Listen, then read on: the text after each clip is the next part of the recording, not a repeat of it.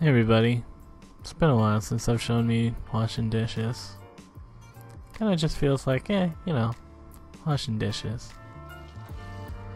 But, uh, that's life, you know? Every day, gotta wash a dish. But, um, yeah, got a surprise message from Rami. He's downtown. It was raining a little bit, so I told him I'd meet him at the Eaton Center. But the rain didn't continue, so kind of walked for a while.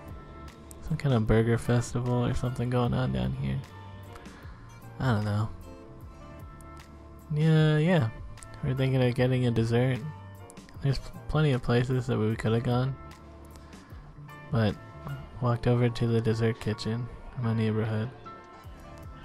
And uh yeah, second time being here. It's pretty good. Yeah, Rami got what I recommended. Same thing that I had last time. Yeah. So yeah, mostly just walking around, talking about whatever. Walked back to the Eaton Center because that's where I left my bike.